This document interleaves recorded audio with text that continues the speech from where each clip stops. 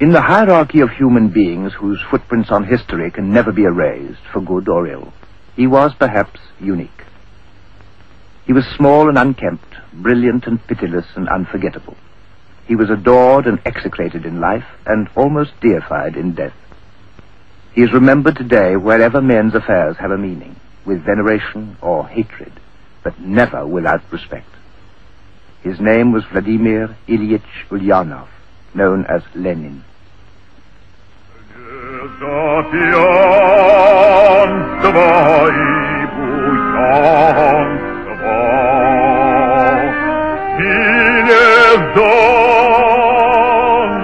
ночной разбой, стороны родной лишился. On the shores of the Volga, in a Tartar country, in the very landlocked center of the enormous empire of Russia, was the town of Simbirsk, one provincial town out of thousands. There, in 1870, in the respectable, solid bourgeois home of a provincial bureaucrat, was born Vladimir Ilyich, the third child and second son. His family was simple and secure. His father was a government inspector of schools, a man of character and cultivation, Ilya Nikolaevich Ulyanov. Around them were always the reminders that to oppose the regime meant suffering.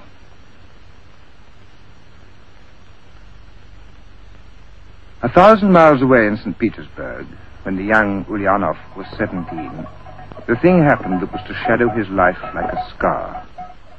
His sister Anna and his older brother Alexander were implicated in a plot to kill the Tsar.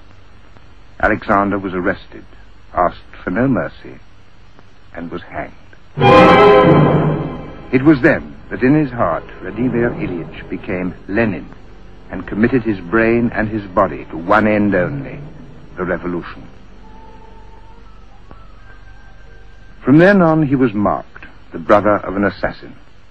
At Kazan, he was involved in a students' protest and banished from the university. Already he had discovered Karl Marx, his personal revelation, the manual for his own place in history. Denied the right to study, he went to rusticate with his family near Samara. It wasn't hard for a rebel to find fuel for his fury in the country life around, in a Russia of a hundred million peasants who lived their racked and wretched lives forever on the edge of famine, scratching what they could from their outworked and ungenerous earth.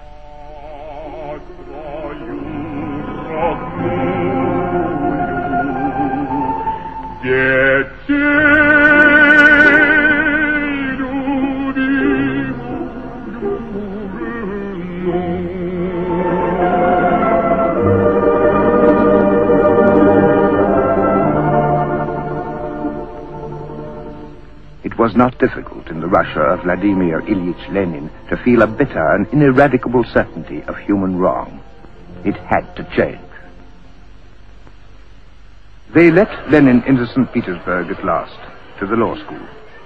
Here was the other side of the Russian picture, the urban proletarian picture. Here, as he sailed through his four-year law course in one year, he reached his creed, that today's revolutions are born always in cities.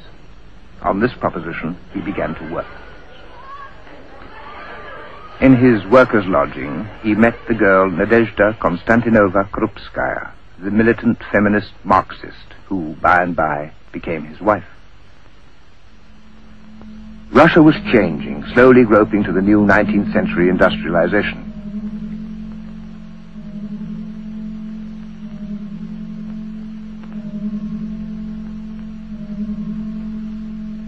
The 19th century factories and workshops were huge and primitive. They were, like Russia, on a monstrous scale and, like Russia, suffocated in their own ineffectual size. In them grew a seething and inarticulate resentment, expressed in all manner of groups of protest, the incoherent raw material of revolt, with neither motive power nor guide. In the huge oil fields of Baku, rebellion was lost, as everywhere else, in an almost unconquerable pit of apathy.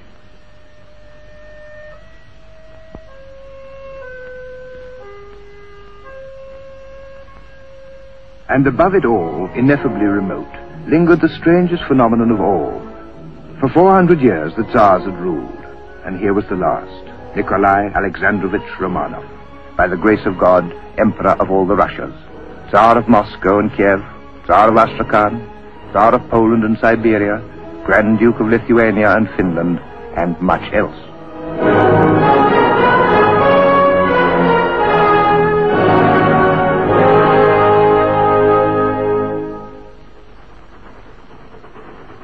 In 1895, Lenin went abroad for the first time, and in Geneva he met the founding father of the Russian socialist movement, Georgy Valentinovich Plekhanov, living in exile. Lenin was to become his bitter foe, but not yet.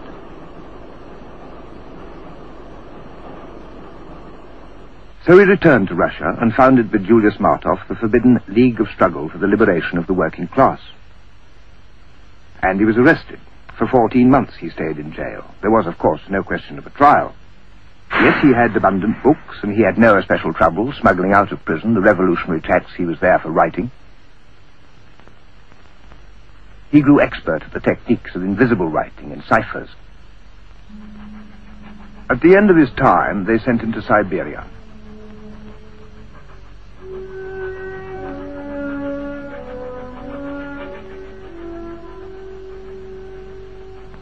It took him two months to reach his place of exile at Shushenskoye, far to the east. There he waited and hunted and shot and read and wrote interminably. Two years later, Nadezhda Krupskaya, too, was exiled to Siberia. The authorities obligingly let her join Lenin, and there she and Lenin were married. By now, the Social Democrats were on the run. Lenin found his way to Munich, where, with Martov and Potresov in 1900, he founded the rebel paper Iskra, the Spark. It was smuggled into Russia by many people, among them the young Georgian activist Joseph Djougashvili, later to be known as Stalin. The paper Iskra became the underground gospel of Russian socialism. The workers' cells began to form in secret everywhere.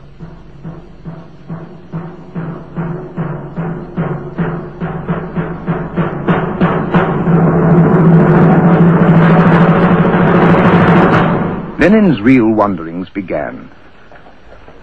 His restless search for a secure base brought him and Krupskaya in 1902 to London, forever writing, haunting the British Museum reading room. Already the exiles were obsessed by their own internal conflicts. Sometimes it seemed the technique of revolution was more important than the end. But the flood of advice and instruction filtered back to the Russian underground.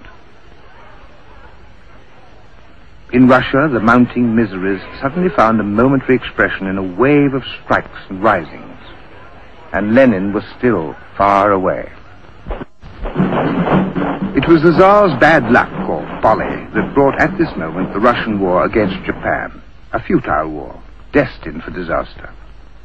In Russia, wars have always carried revolution in their wake.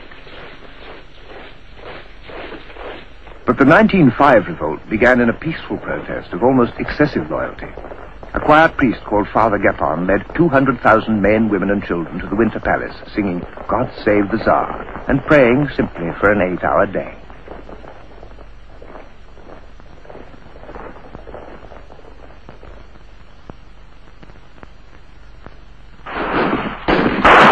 And the guards opened fire on them, more than 500 died. That was the Bloody Sunday of January 1905. Everywhere the crowds came out in a chain of outbursts, defying the Cossacks, driven to a desperation of protest Russia had not known before.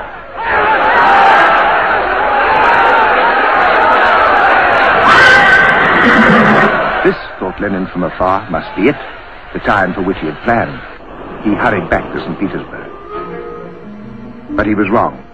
The rising was crushed, the leaders imprisoned. In Moscow, the strikers held out a little longer, furiously encouraged by Lenin. In Moscow, the strikers held out a little longer, furiously encouraged by Lenin. But the army was still loyal to the Tsar, and the army had the guns, the cavalry, the resources, and the confidence. The strikers had defeat and death.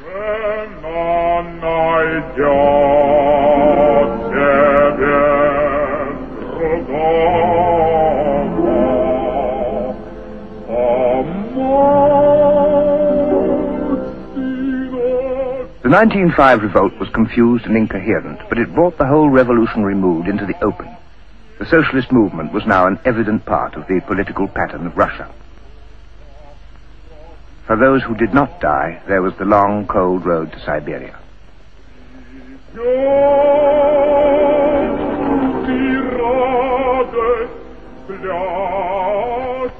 For 12 years, then, the revolt was over. Once again, Lenin escaped arrest and fled to Paris. There, in the usual back room of the exile's life, he wrote and argued and denounced all who disagreed. Lenin insisted that only he and his group of uncompromising Marxists were Bolshevik, the majority. The moderations of Plekhanov and his like were Menshevik, the minority. Capri, improbably enough, was on the list of revolutionary rendezvous. There Lenin went to visit Maxim Gorky, and there were more arid intellectual contentions. In Prague, at the party conference of 1912, came Lenin's final breach with the old comrades. From now on, Lenin and the Bolsheviks were out to win the revolution their way. That year in Russia, the revolt stirred again. Of all Russia's melancholy workers, those of the Lena mines were the most enslaved and degraded. They went on strike, and the soldiers from St. Petersburg shot down an unarmed meeting, and 270 were killed on the spot.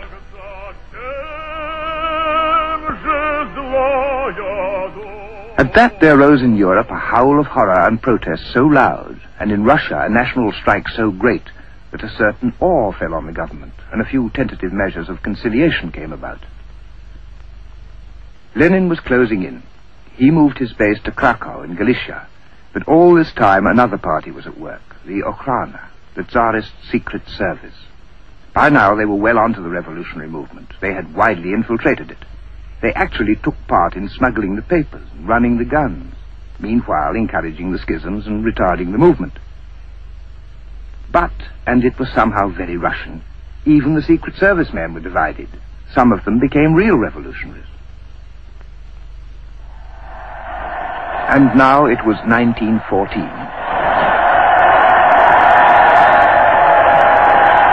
Suddenly, all over Europe, multitudes of dissidents remembered they were loyalists a wave of patriotism drove the conception of revolution into abeyance.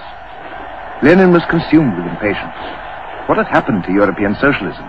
Where was the workers' solidarity that should quench this war?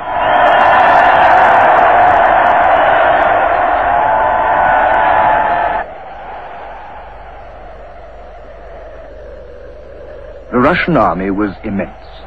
In spite of its parade ground appearance, it was also unprepared, underarmed, underfed, ill-led, and doomed. In their millions, the Russian soldiers vanished into the wintry wilderness of Poland, to defeat after defeat, to catastrophe after catastrophe.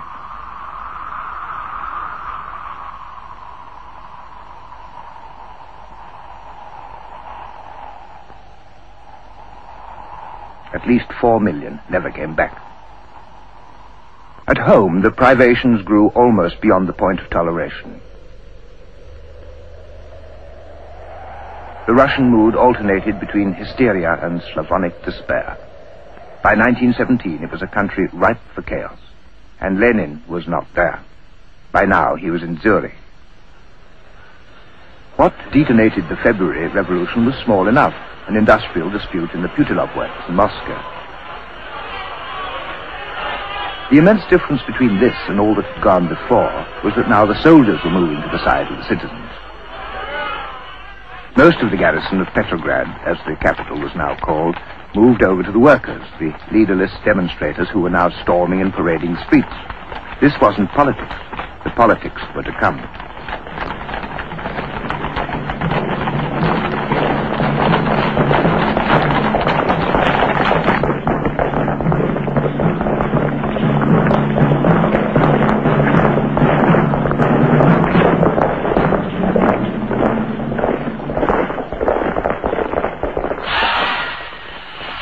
And now the Tsar had gone. He'd been challenged and had abdicated.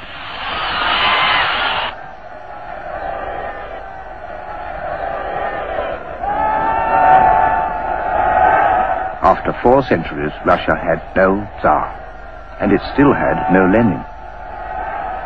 In the austere bourgeois peace of Switzerland, Lenin was frantic to return. The revolution for which he'd lived his life had begun, and he wasn't there. It would go by default. It would get into the wrong hands. Yet how could he, Lenin, cross the battlefields of a Europe at war? Petrograd, without its Tsar and without a Lenin, was now an arena for politicians contending for power. The seething impatience of Lenin and the exiles of Zurich produced a melodrama worthy of the times. The famous sealed train that no one might leave nor enter on its journey. The Germans, most eager to get a good disruptive force like Lenin back among their enemies, agreed to send him there by train. Some 30 men and women traveled on that famous train, the hard core of the exiled revolutionaries. Lenin, Zinoviev, Radek, Clara Zetkin, Sokolnikov, all pipelined through a Europe at war, back to a Russia they had none of them seen for years. And so, after 12 years, Lenin returned to the Finland station.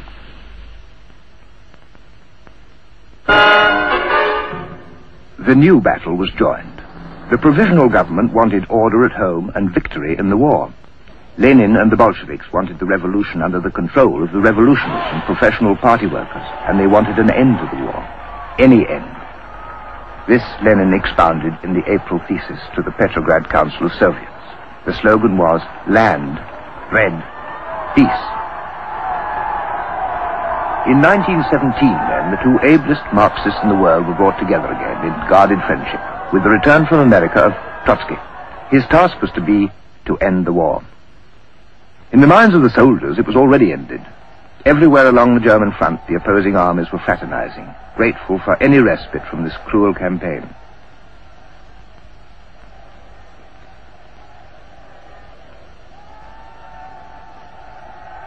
Whole regiments packed up, quit, deserted. The Tsar's army defected in tens of thousands. Whatever might be said in Russia, their war was over. That much of the revolution was, for them, accomplished.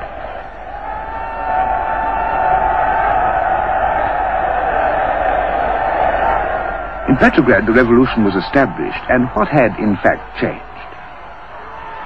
Lenin continually demanded that the provisional government give way to a republic of the proletariat and an end to the war. That July brought out 300,000 people into the streets. On the other side, Kerensky, whose father had taught Lenin Simbirsk. He was prime minister, and he subdued the impatient Bolsheviks. Their headquarters, the commandeered house of the ballerina Kreshenskaya, was sacked. The left was routed. Lenin, disguised as a railwayman, slipped over into Finland, indicted for treason. For now the story was, Lenin was a German agent, sent in by the Germans, paid to end the war. He furiously denied it but hiding didn't help. Now, in 1917, with Lenin still away, the campaign was on for the elections for the Constituent Assembly. The Bolsheviks remained in a high condition of exhilaration. As they had once cried, the Tsar must go, they now cried, Kerensky must go. Power to the Soviets. Yet, when the 42 million votes came to be cast later, the Bolsheviks were to get less than 10 million. The other social revolutionaries got 21 million, 58%. But Lenin said the interests of the revolution stand over those of the Constituent Assembly, and on its first meeting, the Bolsheviks imposed their will. The Assembly never met again. Now both sides of this bitter division of the band of brothers were arming openly, and as openly making ready for the struggle for power. Lenin was still away, but his momentum had persuaded the Marxists of the town and the peasants from the disintegrating army to opt no longer for Kerensky and the Allies, but for Lenin and the end of war.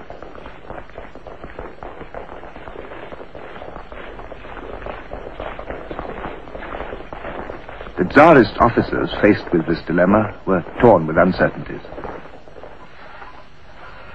Yet life went on. In some bizarre way, the social scene of the Russian capital continued to function for the phantoms of the old regime.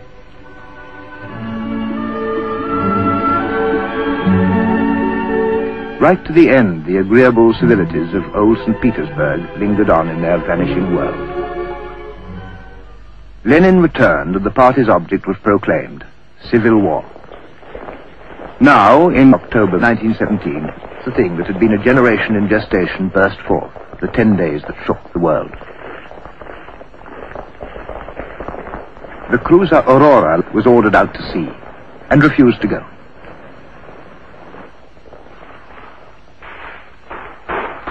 Street by street and building by building, the Bolsheviks took over. Only the Winter Palace was holding out. The Aurora opened fire and it surrendered. And out of all this sound and fury, victory came with practically no one getting hurt. In the Winter Palace it came true at last. Lenin handed over all power to the Soviets. For the first time, Bolshevik meant what it said, the majority. In an oddly pedantic phrase, Vladimir Lenin told the nation, we shall now proceed to construct the socialist order. But only now did the real problems begin. Now, for the Bolsheviks and for Vladimir Lenin, began the real struggle. As he dedicated the memorial to Karl Marx and Engels, Lenin knew this with a dire certainty. The bread ration was down to two ounces a day. There was no fuel for the factories. Lenin could and did ordain instant socialism, abolishing private enterprise, nationalizing banks and industry, annulling state debts. But he knew that the October victory had not abolished the forces of opposition. He foresaw rightly the coming civil war. But first he had to get out of the Great War, the World War. That was Trotsky's job. And at Brest-Litovsk it was done.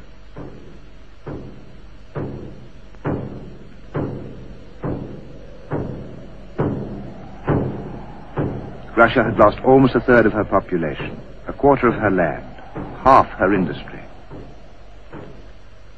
The capital of Soviet Russia was moved to Moscow, miles inland, less vulnerable, less identified with the vanished court. Behind the Kremlin walls, Vladimir Ilyich Lenin set up a seat of state authority. His personal apartments were ordinary to the point of starkness. He was, after all, used to austerity, quite careless of all possessions. Lenin at home with his wife Krupskaya, the childless pair whose only offspring was an abstraction, a revolution.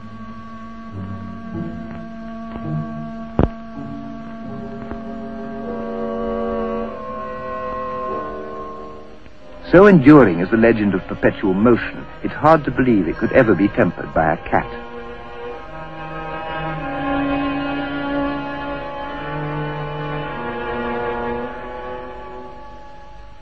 Not every Russian may have shared this euphoria. Many who had shared in no revolution. On the contrary, the officials and merchants who had opposed it, they too were set to work in the job of reconstruction. And they had no choice.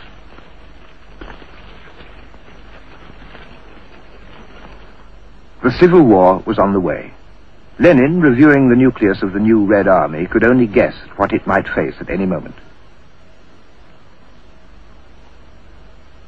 The one thing he needed was time and peace and opportunity to gain experience and consolidate. And that he did not get. The outside world now fell upon the confusions of the Soviet state. The Germans marched on the Ukraine and ravaged it to protect it, as they loudly claimed, from the revolution.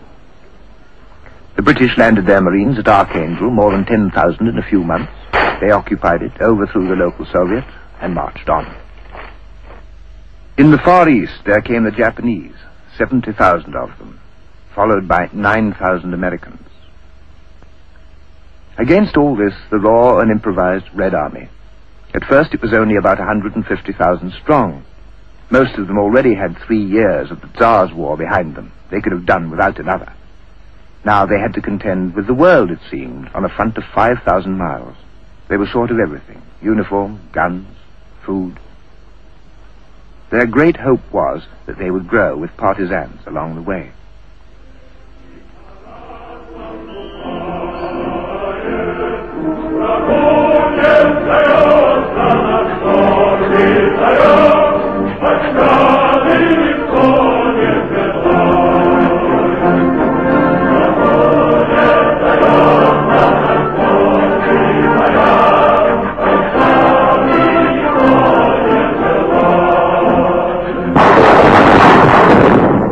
The Soviets were beaten back all over Russia. To check this was the task of Trotsky. His work was desperate, fantastic, but we will look in vain for a word of praise in the Soviet records of today. All Russia was now an armed camp. This was, in effect, one world against another, the first confrontation of communism versus the rest. No one in those bloody days had a monopoly of cruelty or fear.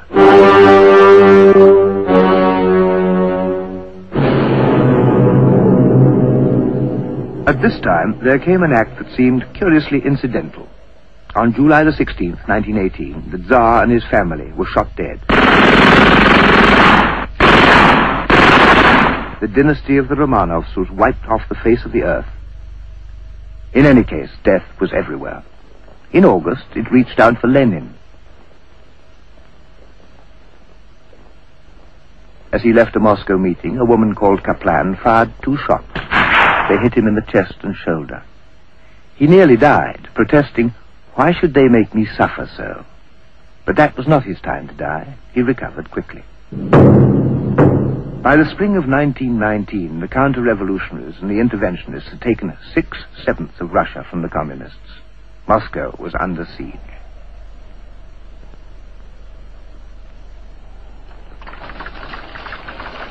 So much hope was resting on the coming European revolution, and a leader of the Hungarian communist movement was welcomed as its envoy.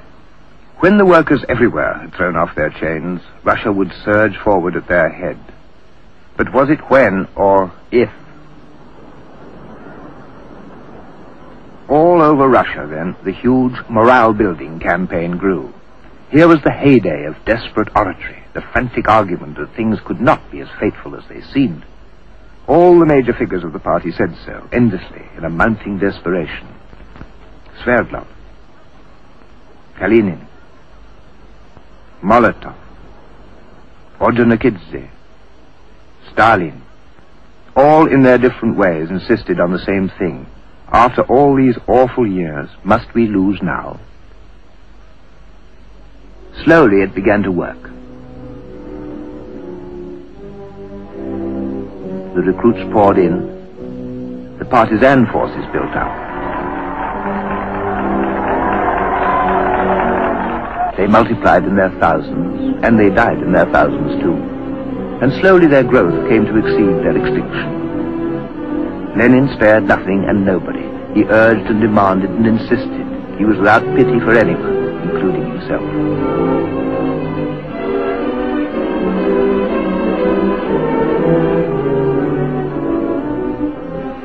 It took three years.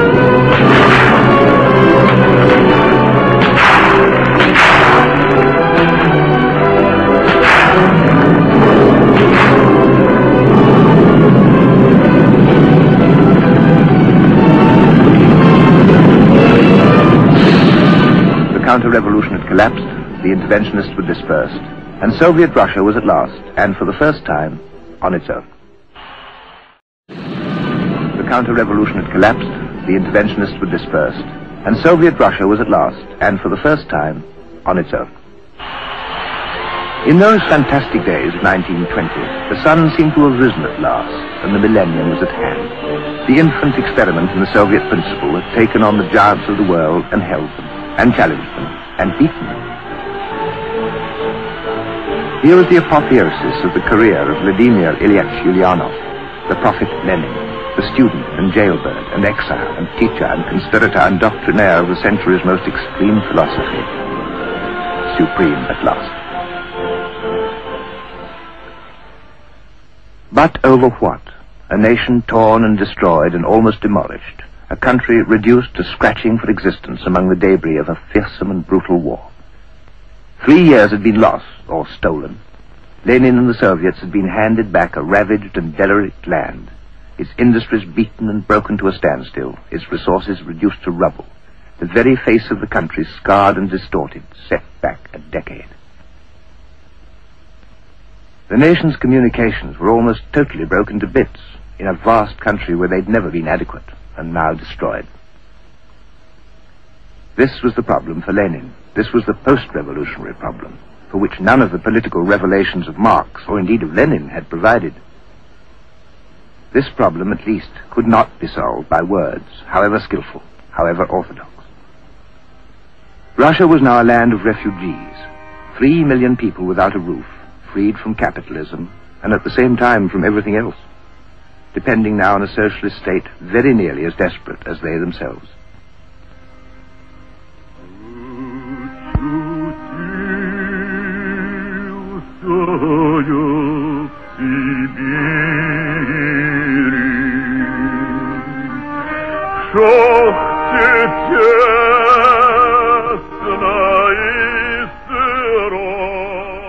It created what almost all revolutions create, the new community of the dispossessed.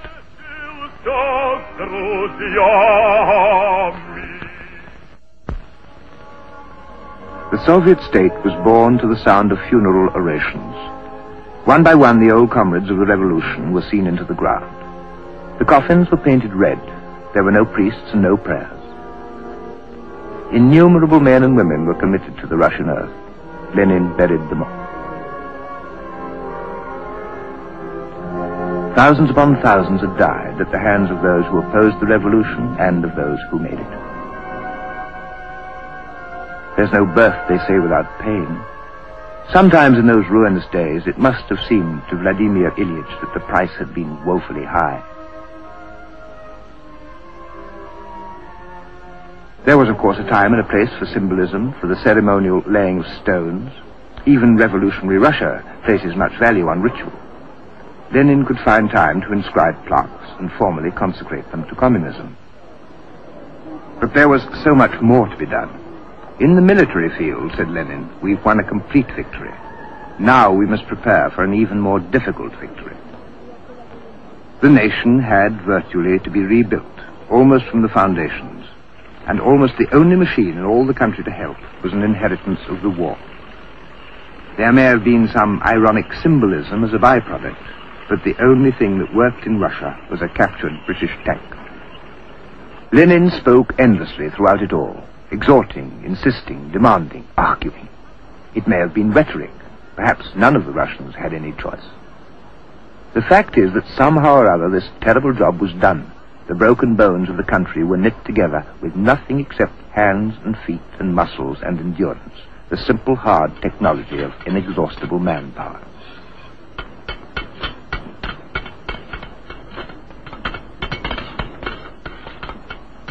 Life crept back to a semblance of normal, the elementary processes of peasant economy.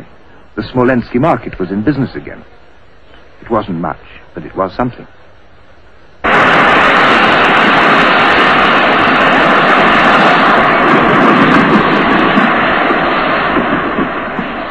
It was now the end of isolation. The first Soviet state was gradually becoming the focus of one world attitude at least. At the Congress of the Communist International in Moscow, the delegates from 39 countries debated the program by which they were to overcome the world. They and the Bolshevik pioneers, Radek, Zinoviev, Lunacharsky, Litvinov, the old guard and the new, including the American John Reed, journalist and historian of his times. Inside, they made their own history. Marx's old friend Clara Zetkin. On her right, the Japanese communist, Sen Katayama.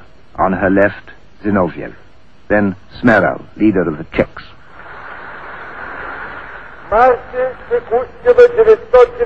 At the hub, always, Lenin projected his non-stop combination of magnetism and charm and petulant authority, with that characteristic thrusting gesture of the shoulders and the chin, the dominating oratory of a man who said everything so often that it merely remained to say it again and again.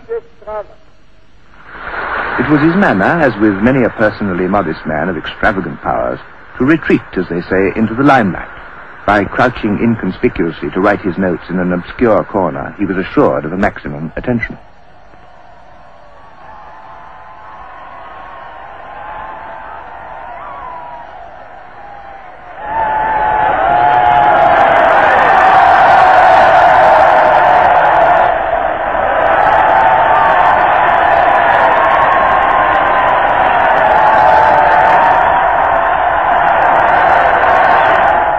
Here was the apogee of Vladimir Ilyich, the summit of his tempestuous and uncompromising career.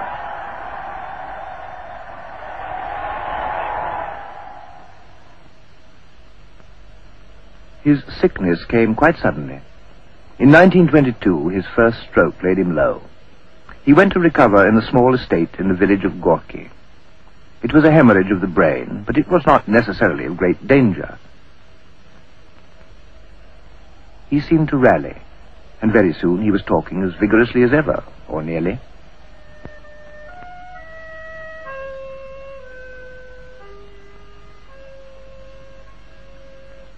He rested in Gorky with his wife Krupskaya, relaxed with local children, was visited by the party's Secretary General, the young Joseph Stalin. That year he seemed to recover and hastened back to Moscow, to the Council of People's Commissars, to the Central Committee, to the Central Executive. To Lenin it was hard to accept that the business of the Soviet could continue without him. But by the end of the year, in the bitter winter, the second stroke failed him once again. And once again Krupskaya took him back to Gorky, to the snow-bound villa where, in the silence of paralysis, he was to come to an end. So, at half past six on the evening of January the 21st, 1924, in the 54th year of his tireless, tormented, and triumphant life, Vladimir Ilyich Lenin died of a sclerosis of the brain. They took him back to Moscow, gripped in the ferocity of the numbing winter's cold.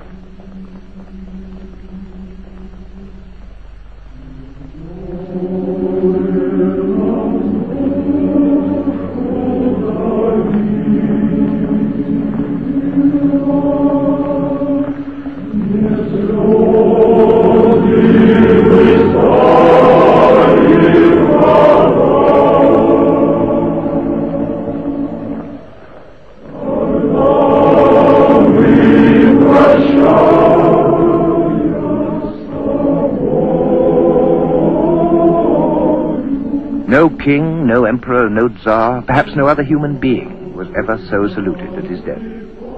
He'd been many things in his time, all to one compelling and obsessive end. Through him, many had lived who would otherwise have died. Many had died who would otherwise have lived.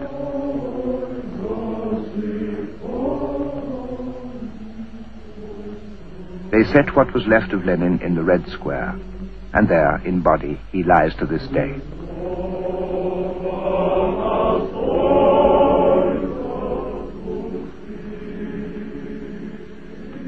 Of Vladimir Lenin, it was once said by Winston Churchill, the Russian people's worst misfortune was his birth.